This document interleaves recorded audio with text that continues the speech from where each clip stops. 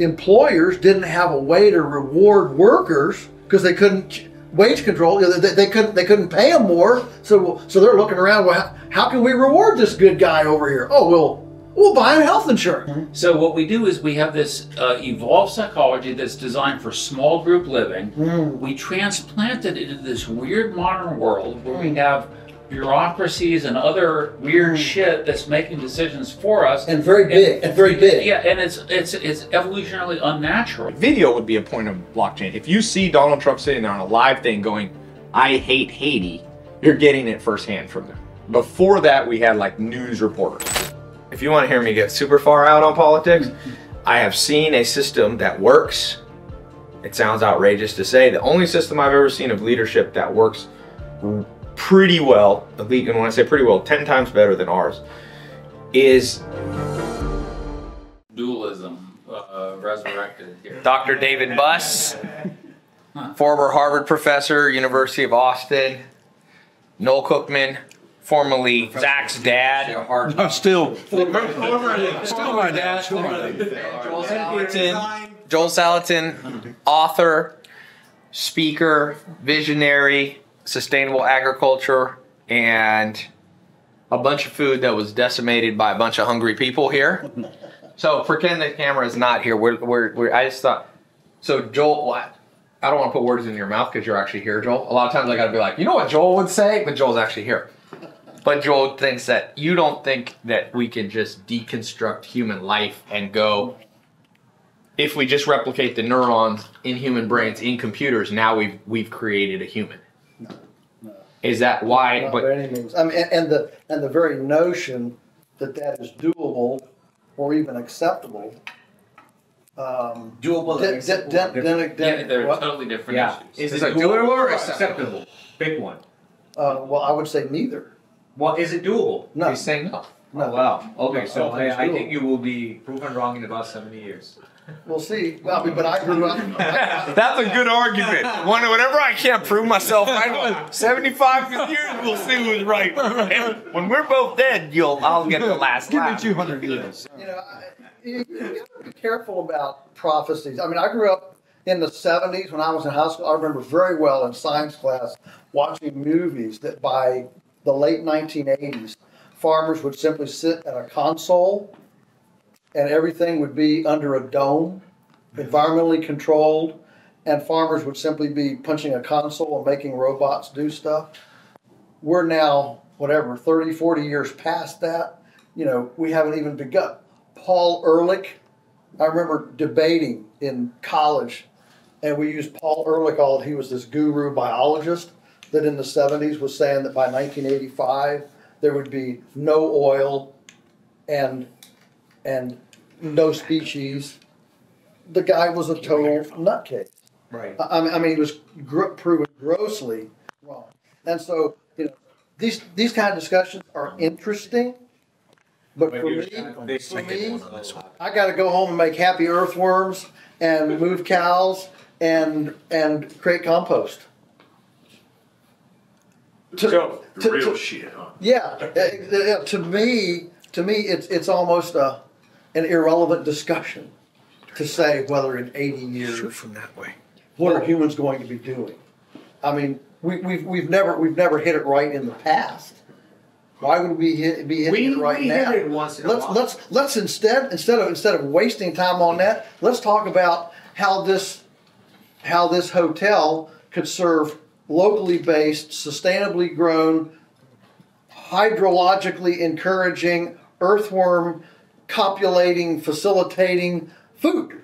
I, I knew it all boiled down to mating. For your benefit. It's all about mating. Copulating earthworm. Dr. Buss is an evolutionary psychologist who says all of life basically boils down to reproduction and mating. Life on Earth, and maybe everywhere, not inanimate things. Only with sexually reproducing species, Yeah, yeah, of which we are one. yeah, yeah. So does the same thing apply for things that are asexual that don't have genders? Yeah, no, a- asexual is a different ballgame. I mean, the, but they're not very successful. on average, you know, because because they don't produce the variation. It's Yes. kind of the issue we were talking about earlier. Actually, Alex was uh, highlighting that. You know that that's the key is sexual reproduction. Reproduction produces this incredible variation, and then selection can then pick the best variants from that variation. Yes. Genetic variability. Mhm. Yeah. Mhm. So I here's which is extremely, which is extremely. It has built-in um, protections that are extremely non-mechanical. Yes, the term it's a, it, Because it's not it is interchangeable robust, meaning the parameters and environment can change and it would still survive because there's variability. Yeah, yeah. one core thing though, and we were talking about this in the worldview. Joel is Christian, and mm-hmm. Alex is zero religion influences. I mean, zero thought of God or anything. So he doesn't mind reducing human thought to something. You could just break it down. If you could break it down Right, enough, right, you right. could rebuild it in a computer. Whereas Joel thinks there's some, there's a soul. That is not replaceable and somehow goes through the sperm and egg to the next person. Right. That it's the spark of life. It's like, you got it. Yeah. Right? but you don't believe. It's not here. This is just pumps blood.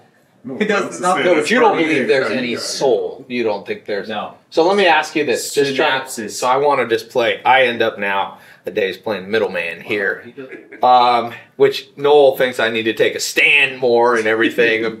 but I do have a stand. But it's more interesting. I already know my opinion, so I want to hear other people's. So, why can't we, or will we ever be able to create life from the first spark? If there's no, because I think Joel, that that's like the spark. It's like we can't take a computer. Well, I mean, I mean, we can't take something dead and make it alive. why can't we? I mean, No, first can we? I'm asking. Yeah, I mean, it's already happening. Genetic splicing. We make we take a piece of chromosome, turn it into a into life all day. So, are you saying like non-biological system, like com- completely in a computer? Yes. Yeah, I just it's a matter of understanding the complexities So of you just think brain. we're not the computers aren't powerful enough yet. Yes, that's But exactly. once they are, Once they'll be they able are. to do it. Yes, And Joel says they'll never. They won't be able to. it's an interesting bet. I think I'm gonna win that bet. Bet in 75 years. Seventy-five. Check back to the show and the podcast in 75 years. We will have the. We, we, we, we will see when every knee will bow and every tongue confess. There it is. We'll see. Yeah, I We'll see who's right. Craig uh, agrees with Joel. Yes. Hey, hey, another question is: Has any human being ever exercised free will, as, as differentiated from the illusion of free will? There's the illu- That's a very. That's- that is one of that's the most hard. fascinating. That is hard. Gar- Sam Harris wrote a book called Free Will and makes a strong point that humans have no free will. Joel, e- this is one that a Christian Mhm. can take both sides because Yeah, oh yeah. there's Sovereignty Christians and- that are sovereignty Calvinistic, and free will. yeah, that say there was a whole group, the Calvinists, that Yep. said if you're born going to hell, you going to hell. Yeah. And if you're if That's you were ordained to be a Christian, you are. So which was before the modern age of atheism. That the Before. Calvinism was before determinism. so what do you think? Let's I want to hear from you too. Well, that was my question. I texted Zach earlier. I was like, I gotta ask. So let's hear Dr. That's Buss. question: Do you think free will? Has will any human ever exercised free will? is it real or is it an illusion? Uh, uh, I think it's an illusion. Okay. You know, I mean, uh, I mean, this gets back to Cart- Cartesian dualism. You know, the, So explain that to those of us Uh, okay, that are not the- up to date on our current. My Cartesian dualism must needs a little refining. I was sick that I'm day. here and act like I know what he's talking about. know. I watched everybody's faces. Everybody just got. I just eject. I just push the eject button. All right, I'm. I'm only up to the second edition. This is your five minute tutorial. Yeah, what? Explain what is Cartesian dualism? It's just uh, the notion that there are these two separate causal entities. One is the physical causal entities that Alex is talking about, and there's this other set that is not physical, that's supernatural. Okay. Basically, that is mystical, spiritual, Mhm. or whatever that we don't understand the cause. Now, of course, we don't understand a lot of the causal mechanisms involved, but uh, the notion that there are two separate essences in the world, um, I, I think is um, pretty much been debunked by, by modern science. So, so yes, I mean, we, we, we have a brain that's a physical system and it produces the mind. Um, and that's what we have is a physical system. So, um, um, does that rule out the possibility that there's some other physical process in the universe that we don't know about? No, it doesn't. I mean, there there could be and probably is, uh, but um, this notion that there are these two separate causal systems, one the physical and the other the non-physical. Cartesian Yeah, dualism. yeah, that's Cartesian dualism, and So does that go against No almost modern every core religious belief? Islam, Christianity. I feel like they all think Hinduism. they're yeah, it, yeah, it goes against uh, a lot of them. I, I would say. All of them. the major ones, the big three. goes- yeah, Well, any theistic, really. yeah, Well, yeah, yeah. or even Hindu. Well, yeah, even a, Yeah. a spirit, even an, um, an animist, Right. an animist uh, belief system. So you think? So do you think the reason we do stuff, and it appears to be free will, or we can't prove it's not free will? It's just the science isn't good enough to explain it yet. But one day it will be. Well, well, no, uh, probabilistically.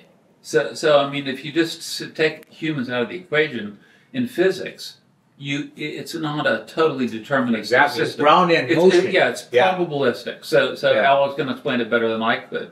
Uh, but um, yeah, you, you can predict probabilistically what electrons will do, etc.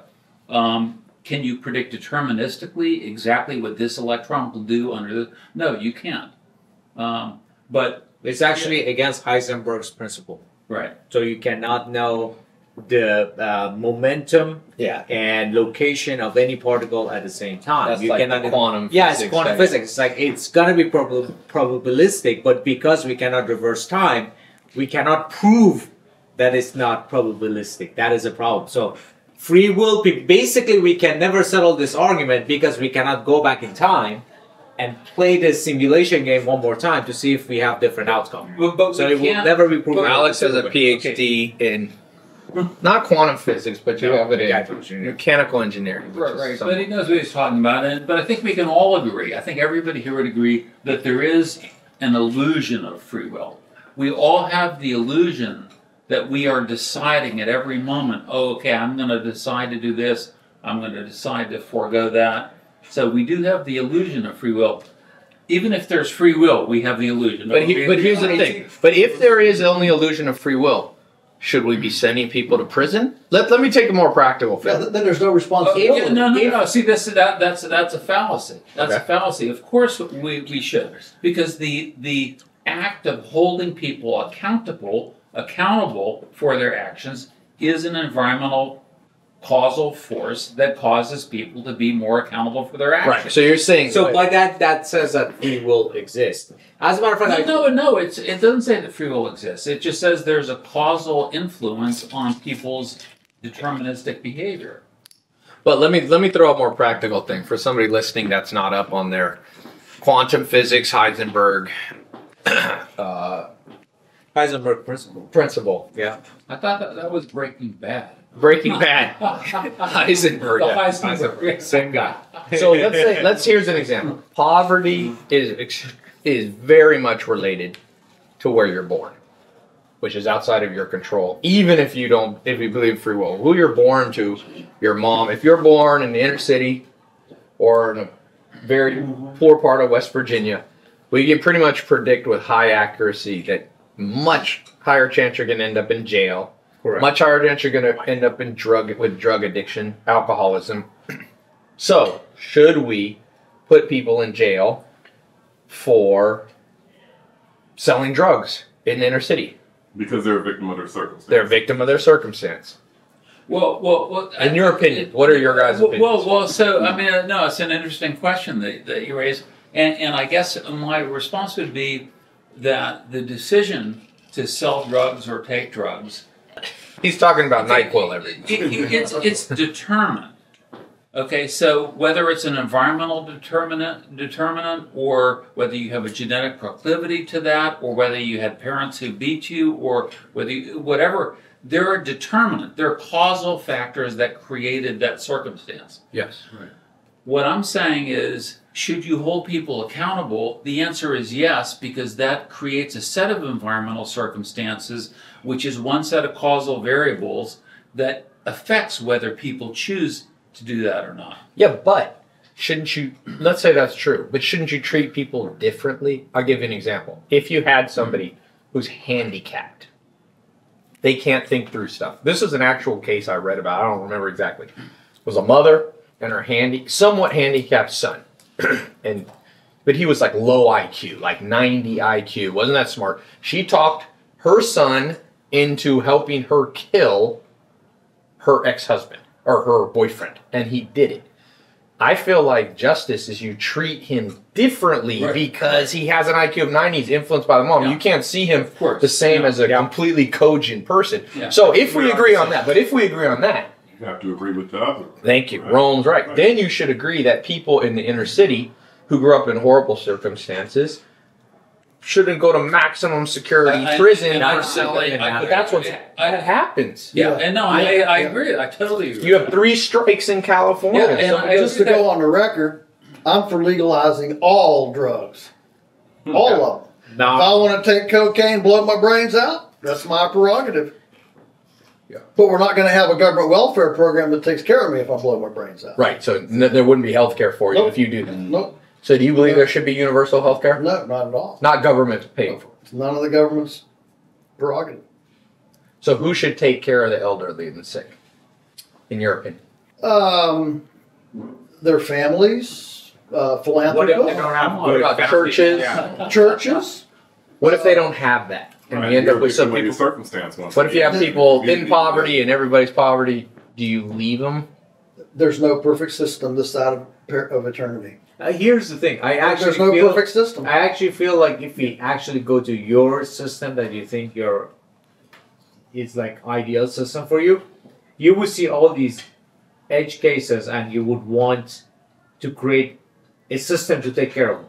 Like because we cannot Yeah, it's see called philanthropy. It's called caring. It's called community. It's called all sorts of things that our centralized, uh, um, uh, our centralized bureaucratic system has has uh, destroyed. what's the difference between paying I, by the way, on the record, I'm gonna go on record. Go.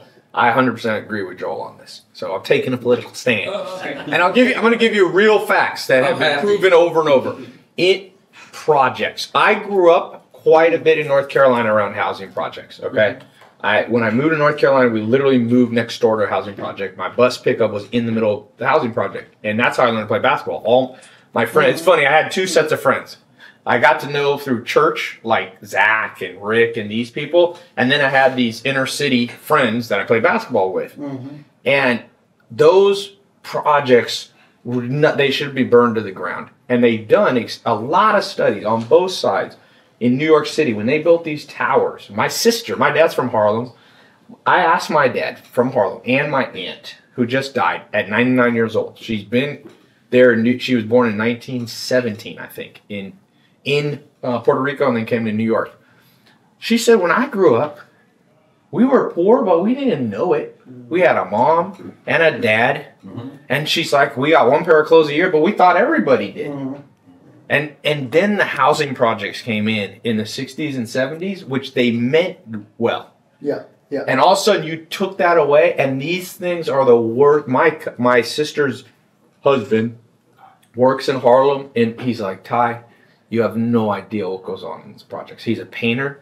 He's like, these are hell holes, and people are trapped in it. He doesn't even like to talk to people. He goes fishing. He's like, I work Monday through Friday. He's like, you know, how many people I see get killed. This, this, this. So you mean well, Mhm, Yeah. but you ruin everything. You can't, That's, and that's what usually what happens with government right? You- yeah, but you government can't look just at edge cases because what Joel's saying, as I agree with, if you try to remove all edge cases, edge cases being one family that starves to death, you end up causing mass poverty for 5,000 other people. So somebody has to. And, and, So you're and, saying- and, and so beyond, you're- and beyond So you're that, saying be- there, there, there's no system where nobody starves to death and takes care of the middle of the bell curve. Blockchain might be able to do it. Yeah. well, See, blockchain makes it all automated and smart contracts and things we're talking about. performance driven. If there's no, as long as there's humans, there's people taking kickbacks in the projects. Yeah, I mean, is There are people right. when there's people and greed and mating, which people want status and money. They're stealing from the poor. So when you do these government So programs, we came back to robots making decisions. Well, at, at the at the end of, Like- I got robot. at, at the end of the day, um, all, you can't have charity that is based in violence. And if you don't pay your taxes, see who gets violent. So, so ultimately, all government charity comes at the end of a gun. The sheriff. They collect taxes. They collect taxes. That's what Joel does. That's what a libertarian like Joel does. So, so, so you can't, you can't ultimately have charity that, that, that come, that is, that is, that is dependent and predicated on violence. It's It- so- so- so- enforcement, I call it. if you don't pay your taxes, enforcement, and then eventually they start taking things from you, and you don't come out of the house, they come in with guns. Yeah, which is I'm I'm saying. And if you yeah, fight back, they so shoot you. basically, let's put it this way. So, so, so they're, they're gonna come in and take, and take my possessions and give it to somebody else that somebody a thousand miles away in an office has determined is more deserving of it than letting me spend it the way I want to. And that's charity?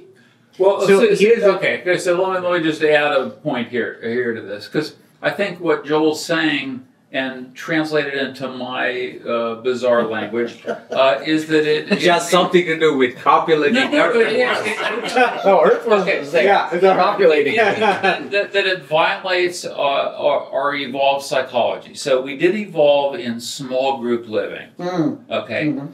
Um, and in small group living, conflicts arose. How did they resolve themselves? Well, one is okay. You fuck my wife, I'll kill you. Oh, okay, violence is one. But the other is there are the village elders. Yeah. so, so this person, you know, came on my land and stole my shit, Mhm, mhm. and so I appeal to the village elders, and so they confer, and then they pass a judgment. Mhm. So it's all a very local situation. Mhm. So what we do is we have this uh, evolved psychology that's designed for small group living. Mm. We transplant it into this weird modern world where we have bureaucracies and other weird shit that's making decisions for us. And very big, and very big. Yeah, and it's it's it's evolutionarily unnatural. Hmm. And this is where I agree with you on this Uh-huh. issue. You know, it violates our sense of uh, justice. So so even things like um, uh, like welfare.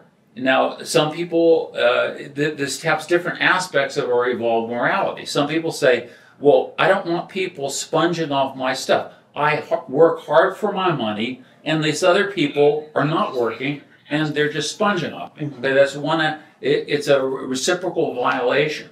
Okay, free riders. We have we have an evolved mechanism against free riders. We don't like that. But then there's another set of our evolved psychology that is more altruistic. Yes, That is, yes. it, it's it's called need need based transfer. Mhm. Okay, you're run through a hard time in your life. I'm going to help you. The village is going to help you because when you're running through a hard time in your life, we're going to help you. And there is a kind of uh, what's called indirect reciprocity. There are different terms for it. Mhm. Um, and so, but different political groups highlight one or the other aspect of our evolved psychology.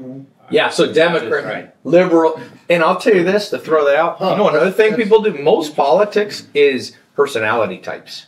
It's personality. People who Yeah. gravitate towards being a Republican or conservative, they are of one type. They probably have lower open. They've done studies on this, and the Hexaco score lower openness to new Yeah. experience, lower agreeableness, lower forgiveness, and that. So part of the thing that's good about America is you have these parties mm-hmm. that bring out both sides. The part that wants justice. Hey, you work for your money. I'm not going to give you. And then you. I call it the father and the mother instinct.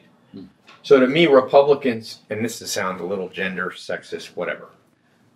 Republicans are more the father side. You fall, you trip, the dad says, life's tough, get up. but you also need a mother that goes like, let me come cry on my shoulder. So a lot of the democratic principles are nurturing. It's like, look, you know, Donald Trump came in and cut Meals on Wheels. A lot of people are like, okay, the Republicans are like, why should we have to help Meal and Wheels? And there's a part of me that's like, elders should be taken care of by their kids. But there's also a part of me that's like, do we have to cut that? Couldn't we cut a little bit of Yeah, military exactly thing? right. Do we have to start with Meals on Wheels? Right. So I, th- I honestly think we literally spend our life arguing over our personality types, just like you say. Right, right. We're a little more aggressive, so we're like bigger military. Well, we might do, tolerate a little bit of welfare if they wouldn't call it charity, because it, if I say, I'm gonna give your money to that guy, that's not me being charitable. Right.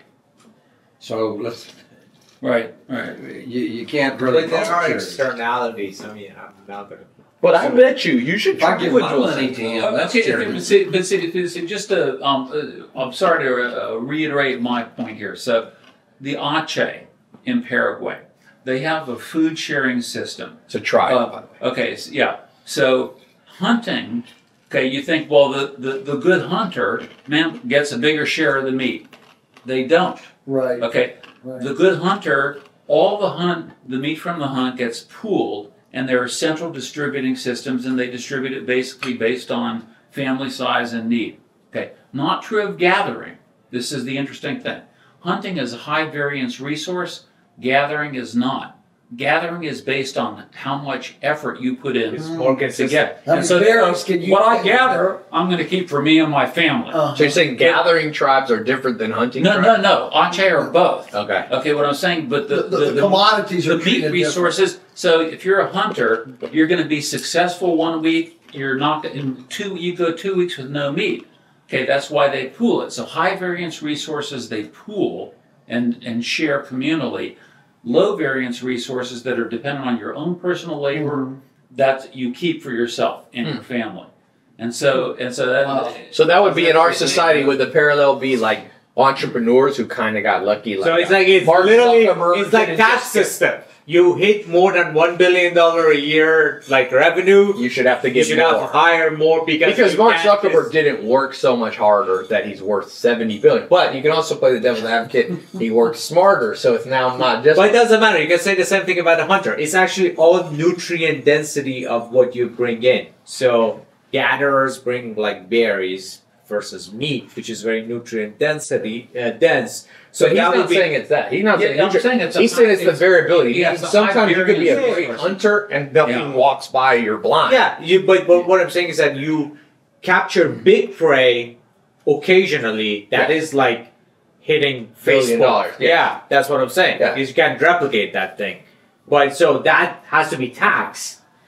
And if it is like normal labor, it Right, shouldn't be right, taxed. right, right. The footnote to this, though, is that the good hunters Better they status. benefit in other ways. Better status. Two ways. Yeah, status. Get so, moving. so, so one is Well, come back to me. so, now. so and everything. And, and so in it all, that's right. Okay, so The so ultimate the incentive. good hunter uh, takes a takes a piece of the, the We are gonna tax you, but you get all the women. no. So the good hunter takes a piece of the prime rib and gives it and says, "Bring this to my mistress before I go back and distribute it centrally." Uh, so first of all, so the good hunters the mistress. Okay. good hunters have more mistresses. And second, there's competition to keep the good hunters in the group. And so other people are motivated to take good care of the children of Ah. the good hunters.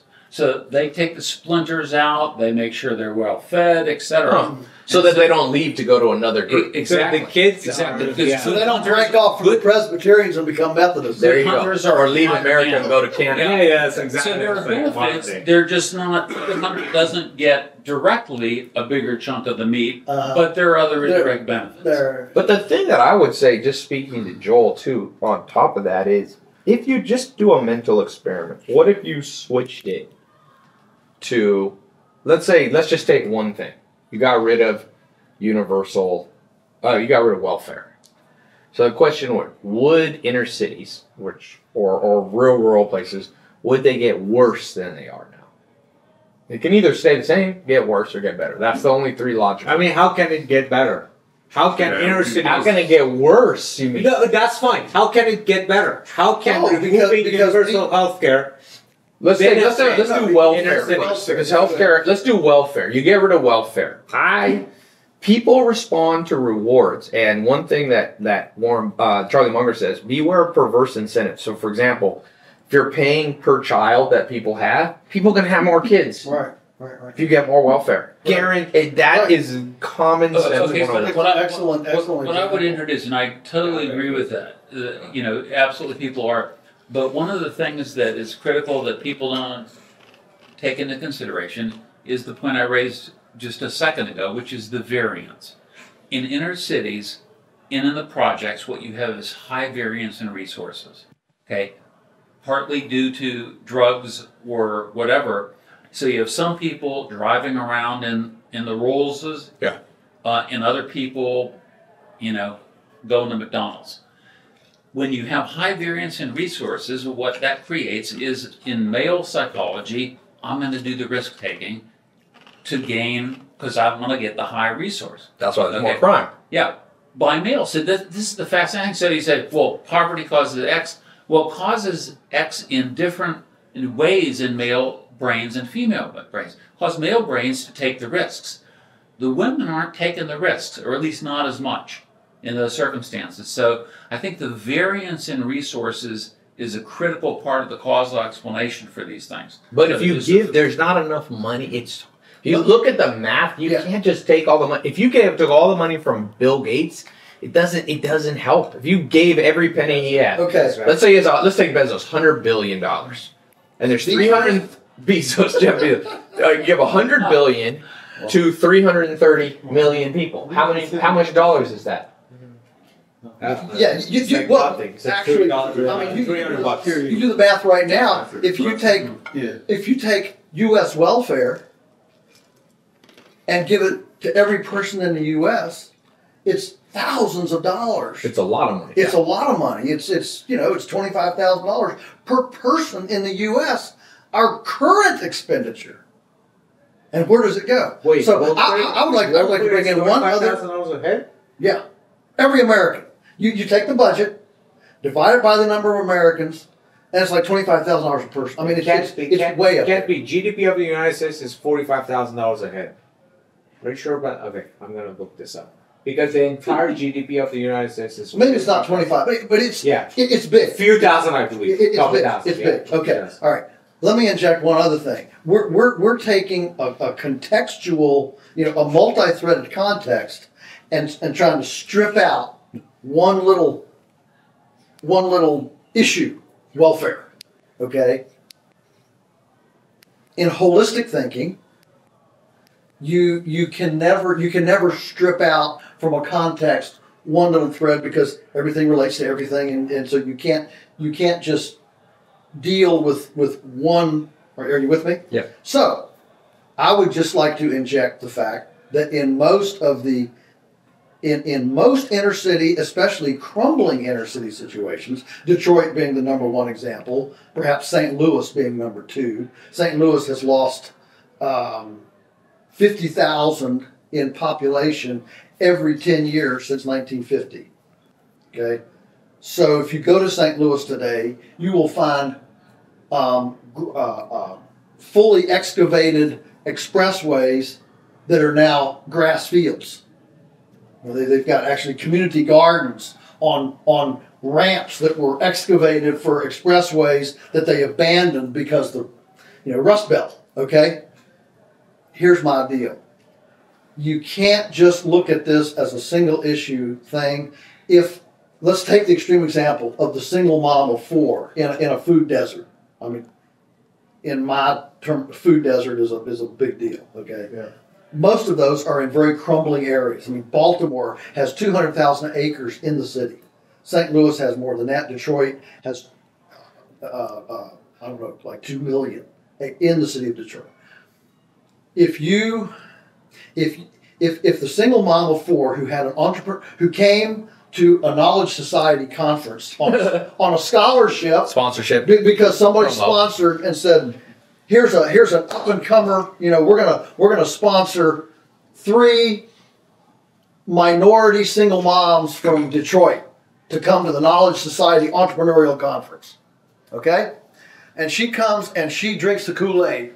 I mean, goes home and says, man, I'm going to start a food business in my precinct.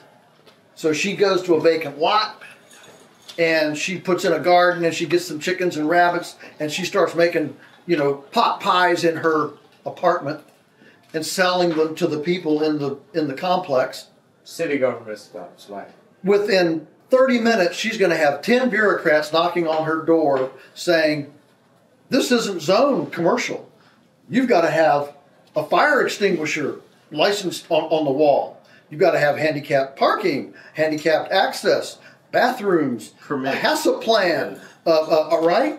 Uh, um, you know, approved electrical, uh, a fire code approved. The fact is that freedom and liberty enable way more people than taking the few extreme examples of, of, of, who doesn't get helped in freedom and liberty and trying to create a bureaucracy to To be a, a, a security net for every conceivable extreme in the issue. It- it- it's not perfection or or horrendous. It's it's it's it's weighing the risk benefit of two imperfect systems, and I would suggest that the that in in, in aggregate, the, the the falling through the cracks element of people in a freedom based system is going to be less, and people will be more affirmed and empowered in that system overall than a bureaucratic system that's centralized, trying to make sure that not a single person falls through the cracks. And the, and going back to the blockchain, blockchain will solve a lot of this stuff. It will. People, less people will fall through the cracks. There's other ways. I, big government. Look, this is where Joel, you will like cryptocurrency because Uh-huh. you're learning about it, as you Right, said. right, mhm, Cryptocurrency hates centralized stuff. Yeah, right. It blames most problems on centralized, which maybe is an extreme thing. But I wrote a tweet today that kind of hit me in the shower as I study history. Basically, we follow crazy people. When I read from a personality standpoint, from what I've learned from you, Dr. Buss, like Adolf Hitler is a classic narcissist and probably psychotic and probably Machiavellian. Stalin was extremely Machiavellian. You know, the, Ma, uh, Mao Zedong. Have you ever read about Mao? Yeah. Mao Zedong Oh, killed the most people of our time, way more than Hitler. Oh yeah. 50 to 100 million people, way more than Stalin. Yeah, yeah. He may be the most narcissistic person. You don't even have to know what narcissism is. I read his. This, there's this new anthology of him. It's a biography. Probably the most narcissistic human to walk this planet. So, what happens in centralized power? Because he got centralized. He like ran all over China. Mhm. And then you have Stalin run all of U.S. Well, it wasn't USSR. All of what we call Russia. And then in Hitler, all of Germany and Central Powers. There's huge problems and one of them is just the people who want to control are the worst people. And i think the same thing happens even in the us Mhm. it's the worst are rising to the top. I mean no offense to donald trump or hillary clinton or obama they're not the best people. There could be a lot better people. I'm not saying who the worst or the best. I guarantee you. In the you last election, I don't know when I heard more people say, we have 330 million American citizens, Yeah. and this is the best we The can do. only two. Really? BS. I meet people that are sharper, but the problem is in a centralized, it selects for certain traits. For example, who's the best campaign person? Uh-huh. Why do you want somebody who's good at campaigning? That's completely separate than who's good at run debates. Administration. Even debates. That's like debates bring out people that are great at debating, yeah. not necessarily being great at president. yeah. So this is what I was saying. The blockchain might be the answer to every conversation we're having, where it will just remove that whole thing. Could, Like- could you unpack that? What, how will that? So I'll give you a practical thing. Just this is a, just a simple, not a complicated. Right now, unfortunately, a lot of people don't go to vote. Right. So democracy works when a, a large number of people vote. What percentage of people actually go to the polls? I mean, to the to the voting station. Do you know? It was higher than what I thought it would be. I think it's like uh, 25 to up to 50 percent. Uh, I was gonna, I was gonna say thirty-five to forty. I thought Yes. it was So smaller. let's say One third thirty. of plus- That, why is that good? Fifty percent. It's But why less is than 35 good? 35 is not good. Yeah, no, that's right. 35 not. You'll Yeah. get more accurate when you have more. I think. What if it was as easy as everybody in America votes by going on their iPhone? It's completely high. It's highly secure. It's unmanipulated. That you can't manipulate. It would be almost impossible because everybody could see the transactions on an open ledger, and everybody votes. Now you might say that doesn't matter that much. Well, maybe not in America, but it matters in a lot of countries in the world where Idi Amin or Putin. How many times has Putin won in in Russia? He wins. Eh, how long has he been president for? Putin's always president. As long as, As What you're suggesting is a blockchain type system. yeah, because Putin's Since- since he took cheating. sure. Everybody decentralized, decentralize everybody in Russia who has a phone. no human can impact. And you can't go to a station where there can be people watching and on and on. It's Yeah. just anonymous and everybody feels that way. People are going to vote. So maybe not as much Probability America. for the bullshit is lower. Much. It's almost impossible Even, to even even rewarding, like even welfare or all these things. Yes, if they're blockchain, it's like yeah, it's, You know how many people are getting collecting Social Security on an uncle's Social Security number that's been dead for 30 years? Mm. right? This kind of thing happens all Right, the right, right. time. I mean, just think about money. If you had a whole bunch of money in your bank account, and you told anyone in your neighborhood, here's three rules to get the money.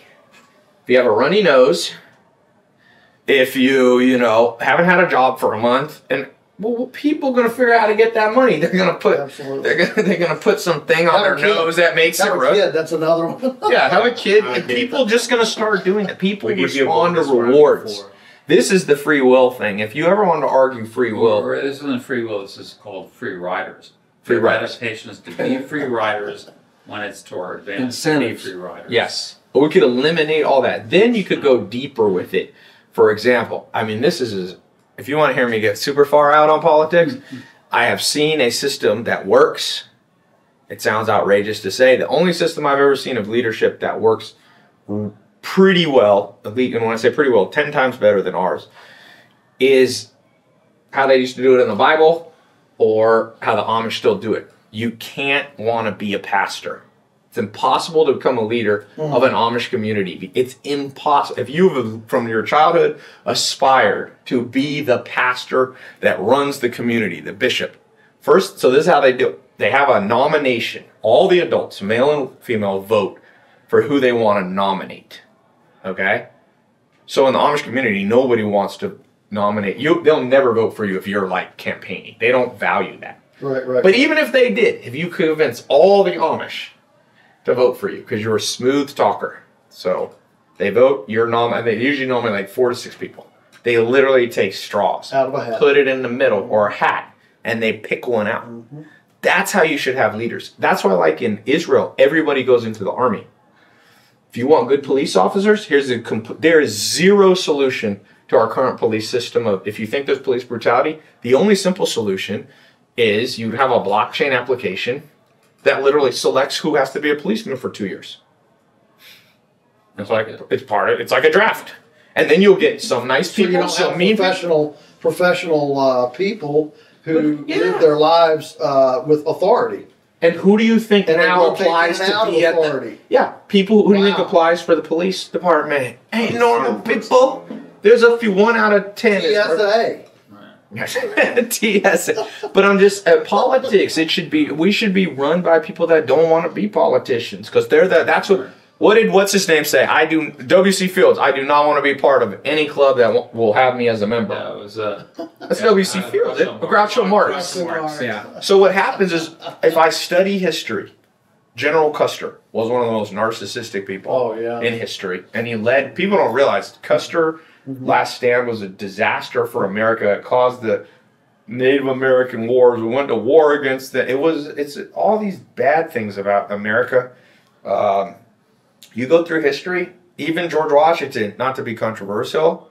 I know some people here love George Washington, but George Washington Nope. he had his slaves, and I just read the story of Ona Judge, who she ran away. He moved to a free. He when he was president, he went to a free. It was free, and she ran away, and he hunted her down.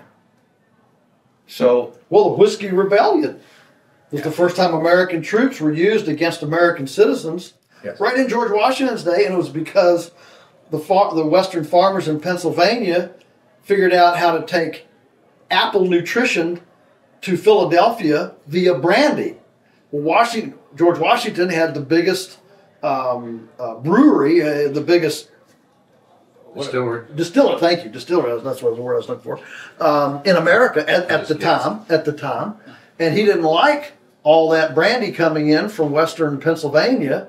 But you know, in a day before refrigeration, that was the only way to to, to get apple nutrition in a in a bouncy ox cart to Philadelphia for a week. You couldn't send apples; they'd all been bruised and mushed. So you made brandy, and you could send bottles and preserve the nutrition in bottles. But Washington didn't like the competition, and he thought they were making an end run around him, and so let's go. remember this: absolute power corrupts absolutely. Every time. And so what I'm saying is, it, all these questions to me are common sense. If we make absolute power around universal health care, yay, it's gonna something's gonna get corrupt up there. First of all, as far as I know, Obamacare forced people to buy insurance from a private company.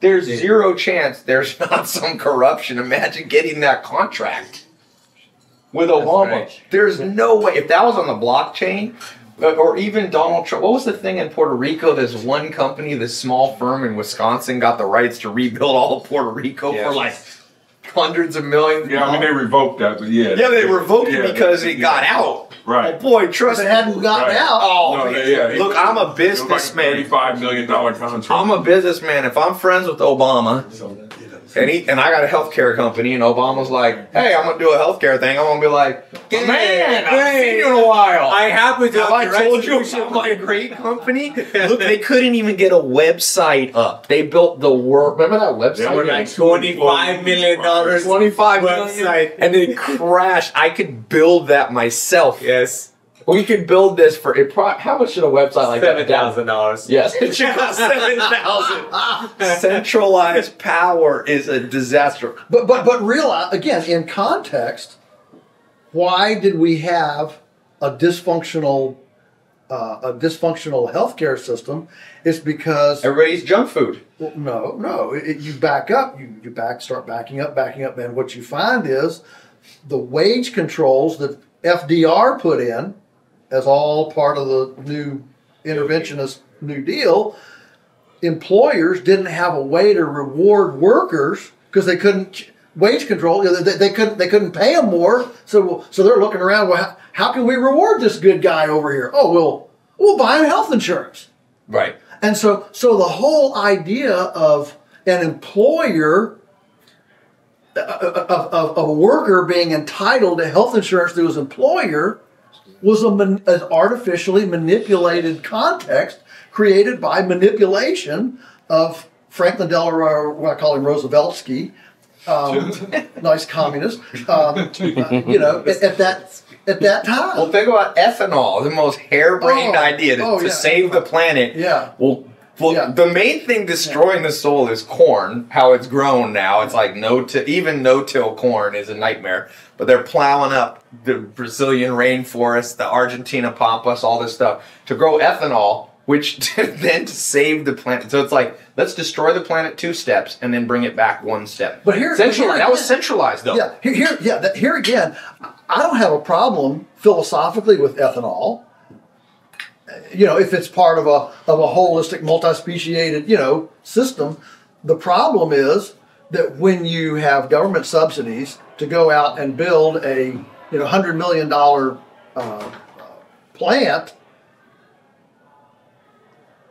you that that infrastructure then dominates the decision making, uh, the whole decision making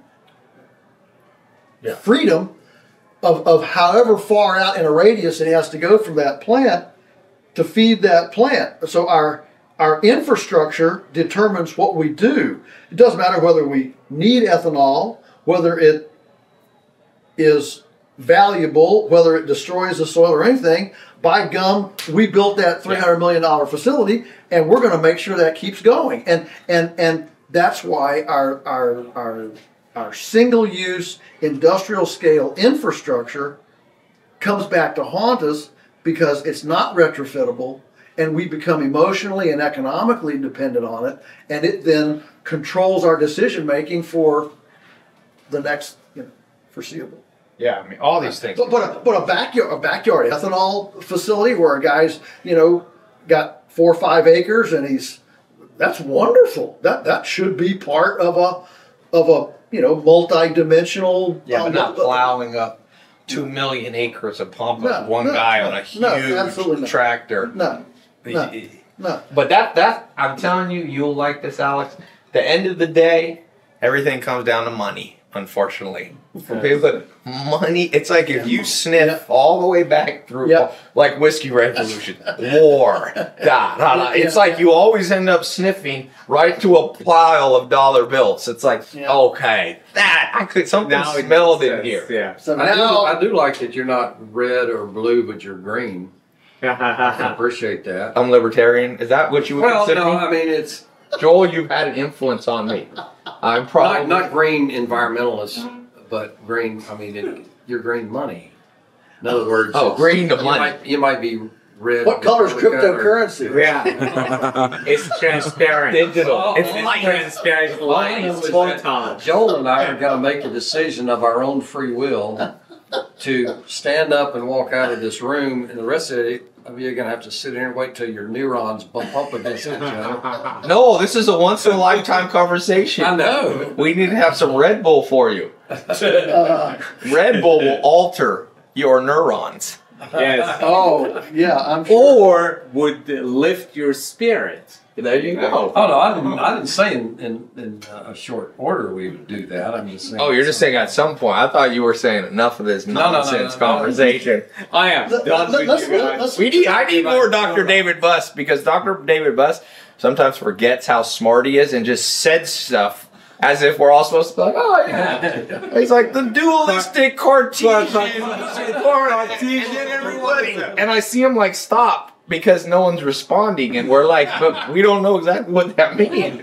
He's expecting you to Yes, that's exactly what I think about when I think about the coexistence of physical and uh, And even him when things. he's giving his explanations. I literally I'm gonna use this on dates going forward. I'm like, yeah, you know what? Exploit I'm not- coalitional psychology. I think was a phrase. No, but what the best Yeah. part is he I'm was trying. We weren't getting his point, so he was making it with the same terms he did before. Yeah. We still wasn't getting. it. He was like, No, the variance. And we're all like, that still doesn't prove the point because we don't understand you. So he said the same thing twice. Like, yeah, exactly. That's not the way to explain something people understand. Oh, okay. We need the only thing that would make this better, Zach. We need Ben Shapiro Oh my. and Mike and, and Michael Knowles. And Rush Limbaugh. Oh God. yeah. It would just make it awesome. But here's some, we need somebody in the spirit of of, of fairness. right here. Who would be somebody that can, is a good representing the Democratic side? You got to always have all sides. Bill Mark. Bill Maher. Who? Bill? Oh no, no. no. Bill Maher? Maher. So, um, um, oh, what's his name? Rome. Who Read do you Michael's- think makes good? Read Michael Knowles' book, and you'll find some suggestions. In So. Dr. Buss, would you say you are more Republican or Democrat? Uh, neither actually. Okay, libertarian. Yeah, uh, yeah. Well, Communist? I, I, I don't know. I don't. I don't Because you have to fit one of these labels, or our Yeah, brain will yeah, blow. Like, slide it, slide it. Definitely not communist. Communist. Good, you're a Republican. Yeah. Although, have you ever read Karl Marx? I'm telling you, I, Karl Marx is one of the most intelligent. He, Oh, yeah. that guy, I can see why communism took over half of the world. You read it, and you're kind of like, hmm, it is kind of exploitation of labor. I hire people to work for me, and they get paid less than they're worth to me. If I can get an employee who does marketing and makes me a million dollars, and he only wants fifty grand, I'm like, yay! I mean, honestly, that's. I'm just trying to be fair. So when he says there's an exploitation of labor, I mean, it becomes semantics. And this, Joel, I'm going to tell you something. I want. I want to steer this. I want to hear your your smart people's opinion. The honest solution, which probably will never happen, will be a return to small village life. Uh, you were talking. You called it. What did you call it? Small group Small living. group living, yeah. So, one thing I heard from Joel, which when I was there at 19 and I've now lived out, cities cause a lot of problems. Now, to be fair, cities cause a lot of increase in creativity and there's a lot of good things out of it, but centralization of people causes a lot of problems too. Whether it's how we grow food, people are. You one of the reasons common sense is gone. It's because when you're detached from like mm-hmm. gro- simple things Yeah. like I grow my own food. Mm-hmm. When there's half the kids in the inner city mm-hmm. do not really know that yogurt comes from cows. I promise you that. When you get that de- detached from reality, it makes sense that you're detached from lots of realities. And so, common sense, as I see as an entrepreneur, I just realized like if you want to make a million dollars a year now, there's so many tools. It's basically like a series of probably about 300 common sense decisions. What am I good at? Okay, I'm gonna build. What do people want? Like, and I see people detached from that. This old guy, older guy, came to my house. He's probably like 65 or 70. And he's like, I made an app. I retired. I made an app. I need your opinion. And so I looked at app. It was probably the worst idea. It was like solving a problem no one cared about. It's like underwater basket weaving app. Okay. And I was like, Did you put a lot of money in building this? He's like, Put my entire life savings of $1 million. I told him, You just lost all your money. So that's a detachment from common sense. A simple farm kid, I feel like, who grew up connected and had to, you know, okay, the barn door fell off the house. I gotta get hinges. They can do like this sequential, logical stuff. Okay, I need that. The barn's half a mile away, so let me make a list for myself. So I walk there, do this.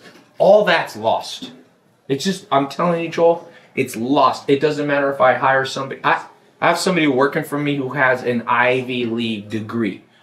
They make the worst decisions by far of anyone I've hired. And PhDs I've hired. It's like, it's no relevance. You're a smart PhD, but it's uncorrelated. I, I You have a I think PhD because you were smart. It's not the other way. The PhD didn't it, make you it- smart. it is because the, people are protected. So your Yes. survival does not depend on making good decisions anymore. Therefore, you've been making terrible decisions all your life, and you somehow are here, still here. You have not died. yes. Therefore, you just never learn how to make good decisions. Yeah, because discernment is like a muscle. Yes. Yeah. discernment has to be exercised. and It's not exercised. You love this time. I was uh, did a speech in the Canary Islands. They brought me over there to do a speech, and uh, it was it was shortly after the election. And of course, if you remember the election, this is the, the Trump Hillary election. If you remember the, the map of the U.S. and the red and the blue, I mean the map looks almost red. The blue is on the west. coast. Yeah. it's, oh, it's totally coastal Yeah. and it's totally urban. When, when they when they did it by whatever by county or precinct, you know, blue is is completely urban, and red is completely rural. And so at this conference, uh, it was all about living sustainably, and they had you know cities that have that, that have put in uh, you know, no motorized vehicles for three days. You know, and, and it was very interesting. But but but for sure, all of the, the big wheels that were speaking, they were extol they were Wendell Berry, you know, extolling the virtues of the agrarian mind and and and farmers and indigenous wisdom and people that work the earth and how how whatever uh, uh, commonsensical they are versus Monsanto and the scientists in the laboratory. Are you with me? Okay, so this this was a demeanor. This was a, a lot like, a you know a kind of threat you know through the con. Okay, so no, for the record, I didn't vote for Trump. Okay, I didn't vote for Hillary either. But anyway, um, I was a libertarian, which I which I've done for many many many elections.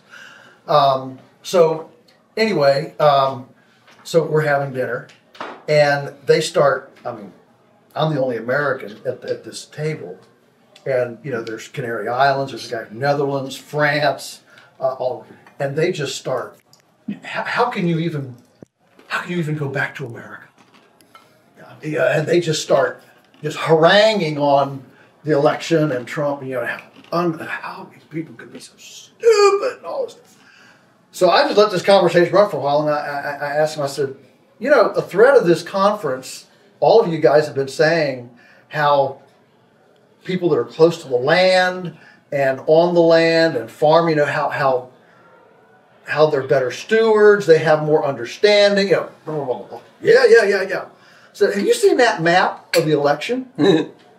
yeah. I said, where's the Trump votes? It's in rural America, where the farmers are.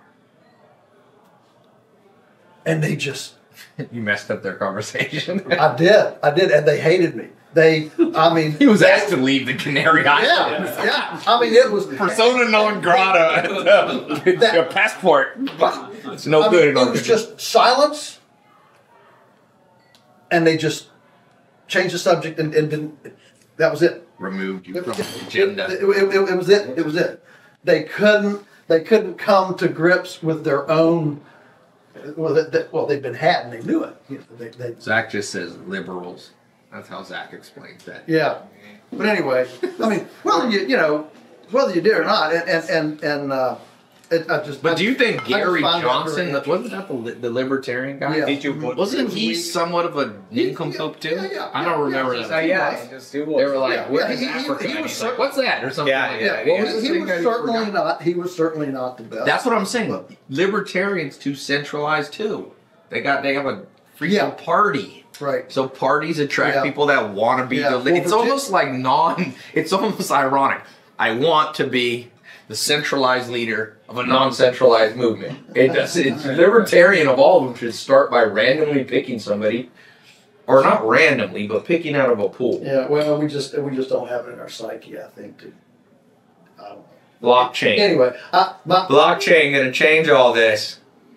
I'm telling, you, and this is better than AI. It's not artificial intelligence. It's like human. I, by the way, you know what I believe? no, It is what, what we need is a new AI. intelligence. Yes, it is. Agrarian intelligence. Yeah, okay, or Joel, listen to this. I couldn't help it. Yeah, I know. Forever. A mating intelligence we could have. We have we have no collaborative intelligence is the one I bet I bet everything on. I don't think it's gonna be cyborg machines. It's gonna be if you could connect all seven billion people together, it will be more powerful than any supercomputer that's gonna come out in hundred years. There's no way Adolf Hitler would have come to power if everybody in the world voted. There's no way. Germans got tricked into it. but The whole world wouldn't. Anyway, Dr. Buss, I have a question for you. Enough of me. I already know what I think. This is why I don't take too many stands, because then I say too much and I don't listen to other smart people. So, See, I Go- thought you were going to say something different by what you were, the thread you started, which was that uh, the um, uh, group intelligence was um, greater than individual brilliance. it is. Okay, I thought that's the path That is the were thread. That's what he says. It's actually Okay, That's what blockchain is. He, Yes. he tells me all the time. Okay. Okay. I which still like uh, kind of like you. Yeah, yeah, in 75 years, I'm going to be like, I'll bet you all the money I have. in 75 years. W. No, I think Tai's right on, on this, and I've changed my view on it because I uh, used to think, okay, it's the brilliant individual innovator, but when you go back in the history of science and the history of ideas, you realize that these brilliant innovators, yeah, they took a slightly larger step than the others, but that design space would have been discovered regardless. Yes. That's, I- I- that's what I- we're doing is we're exploring design space. I don't think it's brilliance. I, I think it's courage more than anything else. Basically, you have the balls to kind of like transcend a given construct of thinking. So everybody thinks one way. You just dare to think different. Yeah, yeah, yeah, no. Or you it's say like- it. But Other that, people think. Yeah, yeah, or that, or that. Yeah. Like you Right, just but that, that dare doesn't to think contradict this this other notion that that when you have, I mean, and it's the Darwinian process, kind of what you described, what you do with your ads. Like, say you have fifty different variants, five hundred variants, and see which ones work. Right. Okay, so when you have five million, five billion people producing variants, see which ones work. That's going to produce a more intelligent hmm. set of solutions, hmm. potentially, or Sure. than, It- it is than, more than than- the single brilliant, innovative scientists. You know, come you. So, but but with the caveat that there are these brilliant, innovative scientists that do make a larger leap than most Right. other people.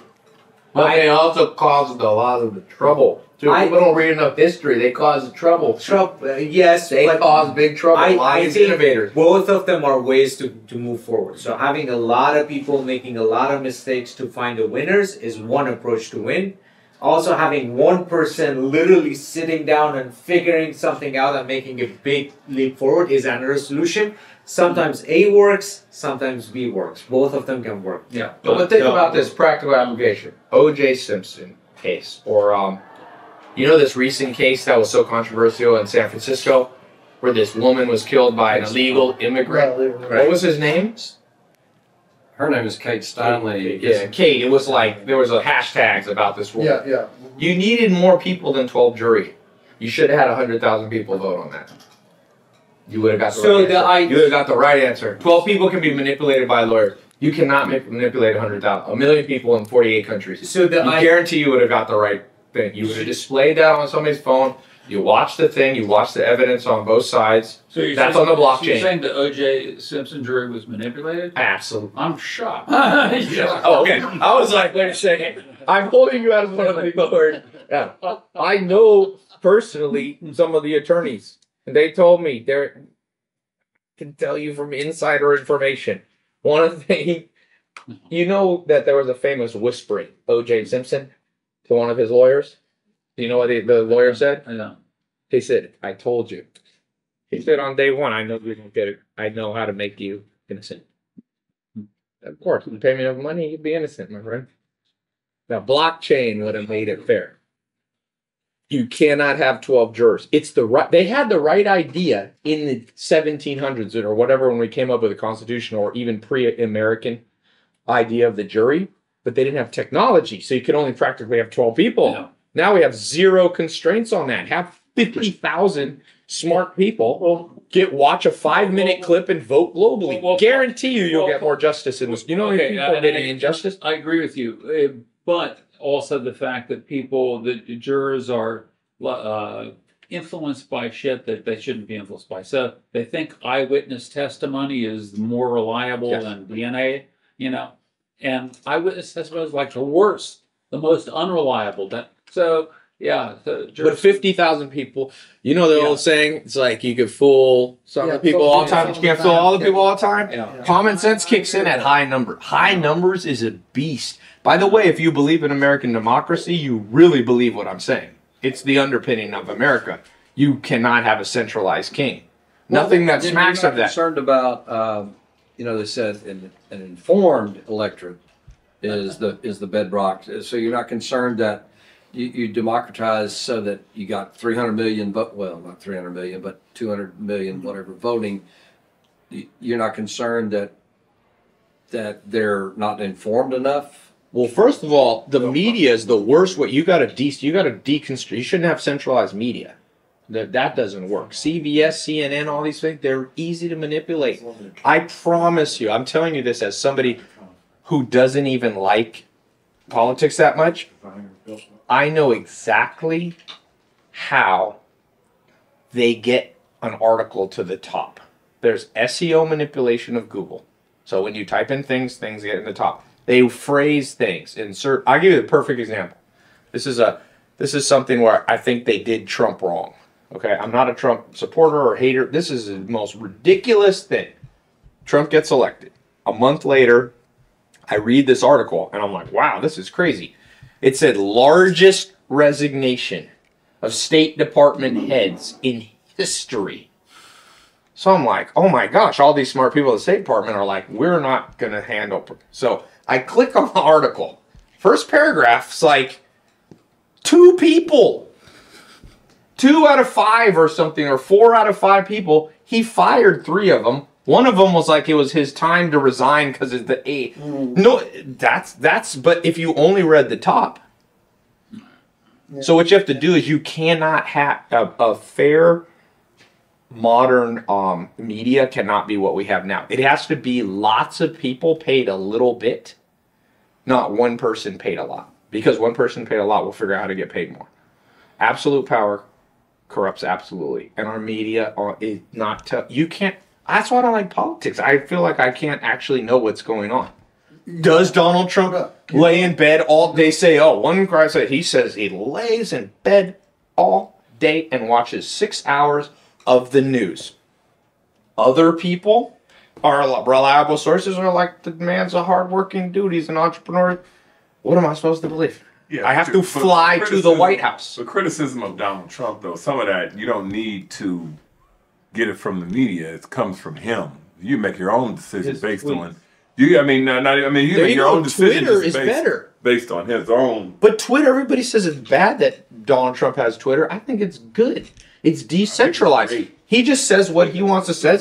You can vote, you can read it and go, I like this guy or I don't like it. Why do we need an intermediary? I'm totally with Donald Trump on him being able to use and let him post outlandish things. Then you can decide whether you agree with his outlandish things. That's actually Twitter is an example of blockchain. It's an ugly old version. So, so what, what is the definition of blockchain? So the new point of little like 1.0 would be like Twitter. Everybody gets an account and Donald Trump can just tweet for himself. So if you want to know what Donald Trump believes, if he says, I think Haiti is a shithole, that's his tweet. We don't have to hear secondhand. It's mm-hmm. probably accurate if Donald Trump says it and he reaffirms it on TV on a video. Video would be a point of blockchain. If you see Donald Trump sitting there on a live thing going, I hate Haiti, you're getting it firsthand from them. Before that, we had like news reporters.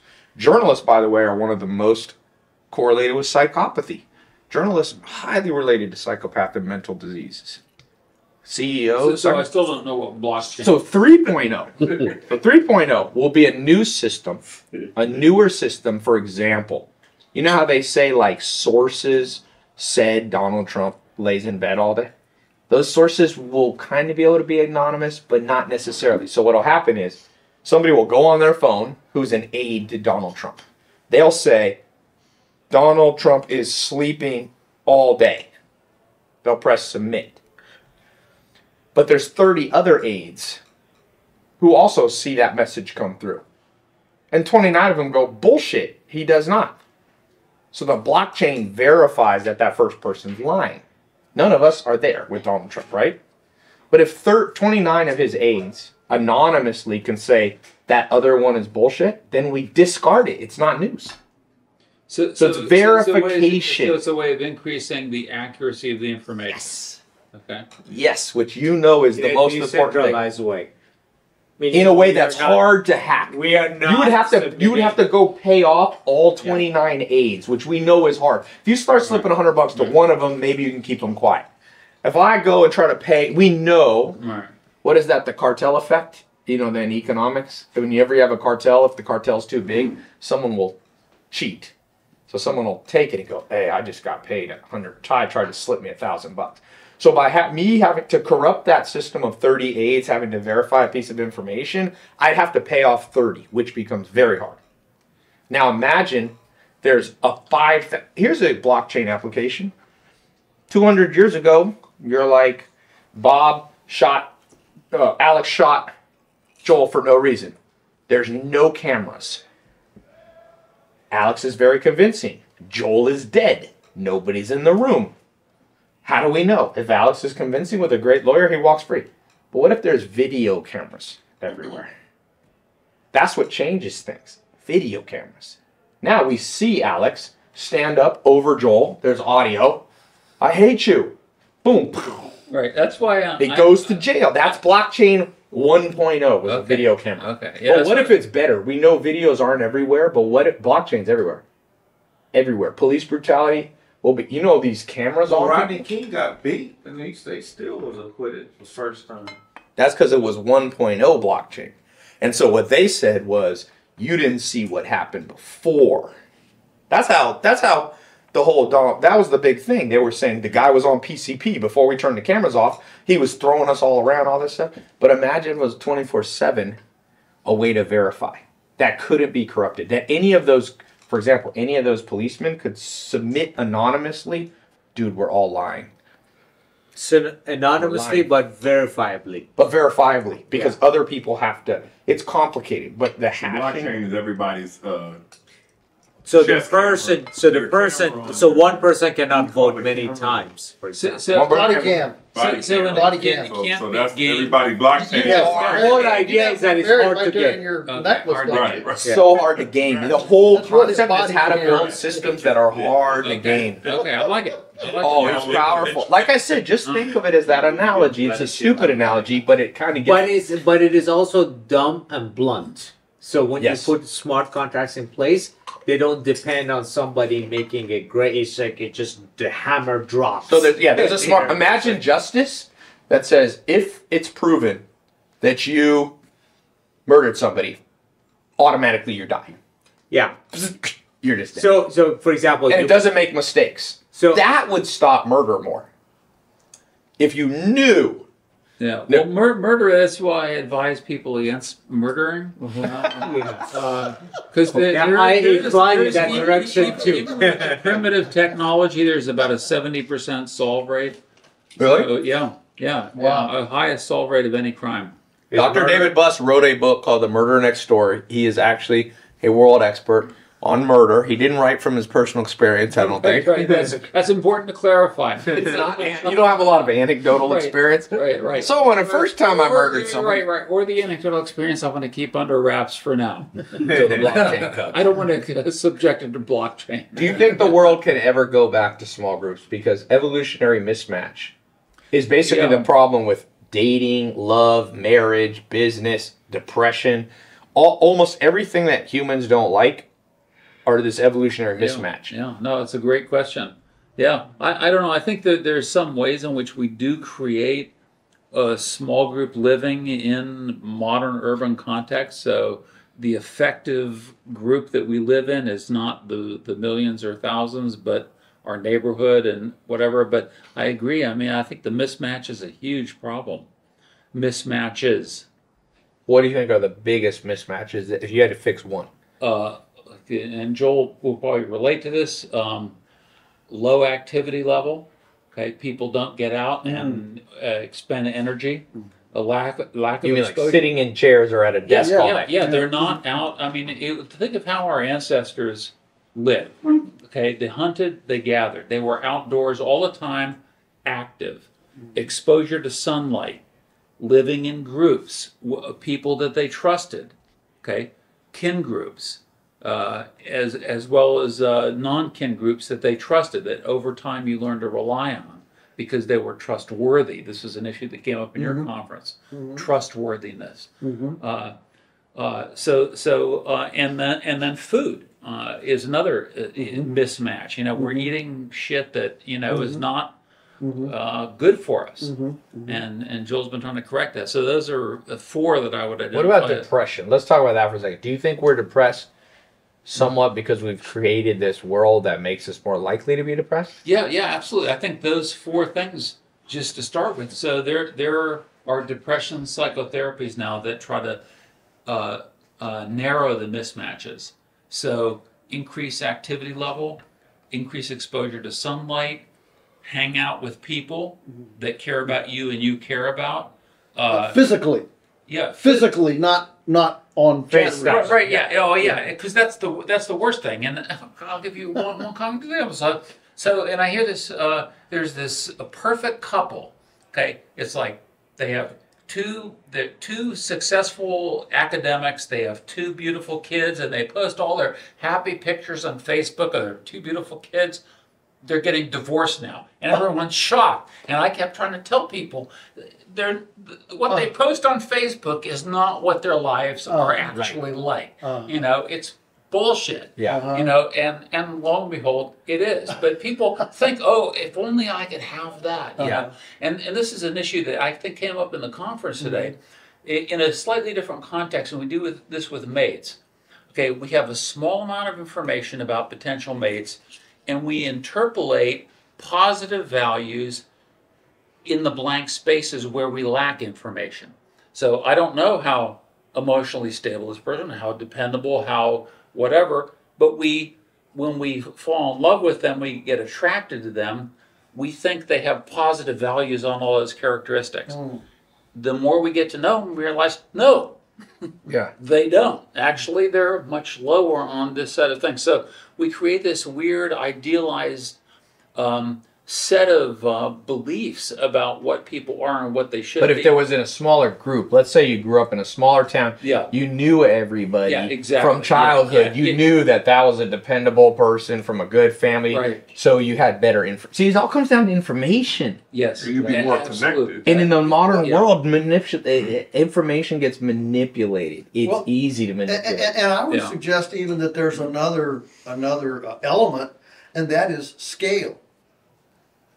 Scale isn't everything, but scale scale is something. Scale does change dynamics of a group, of your ability to know. Of so you're saying when the group's too big, you So, just so, can't so you're handle it. saying No, no. You're, you're asking you're asking David, you know, can we go back to small villages? All right. Well, I would argue that's that's probably not likely. Okay, but I would go the other end and say, do we? I'll I'll posit we're not going to go back to small villages, but then I would ask, do we have to have a Los Angeles the size that Los Angeles is? Right. I mean, i- is there some is there some middle ground? Can, can we not have the art museums and the and the ball teams and whatever you know else debating societies and theater? Can, can we not have that with a city that's half the size of LA? If half the population moved to Oklahoma and Nebraska, I mean, I'm just So do you think I- it'd be I'm better if. Virginia, for example, was Mhm. its own country? if it's own country. Could it be? Let's say it was possible with technology, and you could self-regulate. There was a simple self-regulation. Would the world? That'd be an example of smaller scale. Yeah, America's yeah, yeah. 330 million people. North Carolina, when I lived there, was like eight or ten. Mm-hmm. Virginia's probably 10, 15 million. Yeah, I, I, I think if we took if we took ninety percent of what we've irrigated to the federal level, and went back to the state with that level of autonomous control, I think it would be very very different. So now you're agreeing with what I said at the beginning. That my guess in a hundred years is you won't have the same borders. There won't be Did- a big did- United Did, States. did you know this? That right now there are thirty three states with active secession. yeah, secession California programs. has one. Yeah, It was in the news. yeah. I say we partition off San Francisco. it's its own place. Texas will be first. Well, yeah. Texas already is. Well, well, well, well, yeah, there's Texas and there's Austin. Those are two different. That's right. Texas is the San Francisco. Oh, yeah, Austin's the San Francisco. Yeah. People's Yeah. Republic of Yeah, why don't they People's Republic. Republic of Austin? Well, now now you're back to kind of the whole James Dale Davidson thing, the sovereign individual. Have you read that book? I haven't. he, he was the founder of the National Taxpayers Union.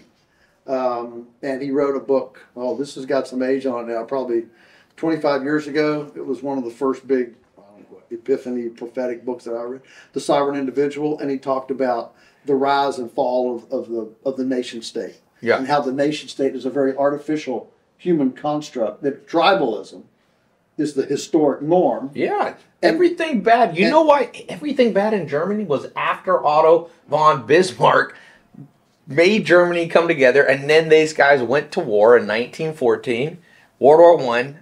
Seven, two thirds people were killed or maimed. Then 15 years there, Germany went after, and it was a nightmare. You know, when my grandma was parents was young, there was no Germany. There was Pomerania, Prussia. Ah, There was uh-huh. Bohe- uh, Moravia. There was my Uh-huh, grandma's uh-huh. parents remember when there's no Germany. and before that, there was the Huns. Yeah, that was a different time.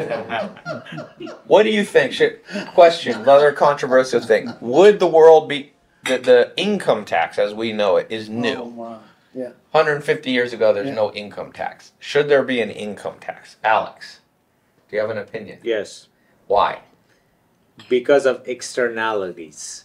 So the fact that I make an income comes at the at the little bit of cost that the environment and infrastructure around me provides to me. So I kind of pay back. So, a like your bit. employees drive to work on a road, Road, they destroy the therefore road I- a little bit. Yeah, so I pay in so that the roads are paved, so that they the infrastructure exists for me to make that happen. Is there a better way to do that though than income tax? For example, tolls on the roads. So if your employees Mhm. don't drive, Mhm. why do you have to pay that? Or Um, like the Amish, they don't use schools at all. Mhm. because Or they don't use Social Security, but they still have to pay it. And it they is- gladly do it, but it doesn't seem very fair. because it's not just use of infrastructure it's also things like you know taking care of orphan kids So Which- they're not Alex. using. That that's That- not a big thing anymore. Just Well, let me I mean, no, no, why not? Why not? No, Not a lot of orphanages. Alex is back orphan Andy. It's, it's, it's so it's so, so kids from kids with bad families being Okay. taken care of. Orphanages are definitely on the decline. They they were bigger a while. Well, we have, we have foster care. Foster We- We don't really have orphans, Foster care. we have foster. care. Foster care. Okay. So that's not exactly use of infrastructure. It's investing in the future of humanity so that they can produce, they can have output in the future. But that's not the question. Should it be centralized in Washington D.C. as opposed to what San Francisco's city government is a lot the, more. the, the way the way the founders envisioned it and the way that it worked up until 1914 was the reason for the U.S. Census was to get a census of the states because we are the United States of America. It's not a democracy; it's a republic. That's why I Right. never use the word democracy. You should never vote for anybody that uses the word democracy. It's a republic. and it's the United States of It is a America. So the powers not specifically given to the federal government were given were, were, were, were by default given to the states. And And, so, people. so So the you're saying- states, so the it's like- states were allocated a federal, a federal amount per capita that could be collected however the state wanted to do it. If they wanted to do it with with property tax, if they wanted to do it with income tax, if they wanted to do it with capital gains tax, it didn't matter. You know, they could do it with a sales tax. Do you think that Yeah. that prisons worked? I don't know. I, I'm I'm not a big. Uh, I'm not convinced of the empirical evidence on rehabilitation. Hmm. Really, for most people, Mm-hmm. especially high on psychopathy. So you're saying there's nothing that'll fix people? Um, I, I think for for uh, I mean it depends on the nature of the crime. Uh, for high psychopaths um, who are violent, you do want to put them away. I think uh, to protect innocent victims. So you're saying it's not rehabilitation; it's just it's, Yeah, removal. yeah, yeah, exactly. Uh, It's like an uh, asylum. yeah, Where do they but- get but the for cane? someone who, On I, the mean, I think a lot of the Where uh, do they get it? Back? or legs. I mean, well, Yeah, yeah, this, back and well, legs. this is where I would agree with Joel on the on the The drug photos, it issue. A lot of people get ass. get locked up for you know long jail sentences for drug crimes, Yes. and you know, and I, I think that's absurd. Yeah. Um, You know, uh, waste of taxpayers' money Yeah. doesn't do any good. Well, look at the rapper that just Meek Mill just got. So here, Meek Mill has broken parole three times.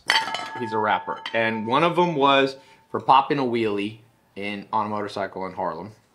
The second one is for breaking up a fight, which the police said was justified that he broke up, but he got involved in an altercation. And the third was turning himself into rehab for drug use, I say 25 years max. You know. No, he got put in. Yeah, but I'm saying he got yeah, put in like yeah. two and a half years Wow. of prison, Yeah, it's ridiculous. which is just like Yeah. But he's on probation for like ten years. yeah, he's on probation for ten years for something he did as a teenager, and then the more you're on probation, anything you do right. violates the probation. Yeah. Well, that's the other thing is the thing that I've learned with corresponding with all these prisoners is how many hurdles we put in front of them when they do get out. If, if Yeah. they serve our service and they get out, they can't they can't have this job that job. They can't live within a mile of a school. They can't. I mean, the the the, the Or the- they can't be around individuals. yeah, individuals. yeah, or children. Or, I mean, you, you name your thing. And, and, and my lands, we hear a lot about punishment, but can we hear about forgiveness once in a while? It's a recipe to fail. It, it is. It is. And, and and this poor guy. I mean, he he's he's got family in Georgia that's ready to bring him. He wants. He's ready to farm.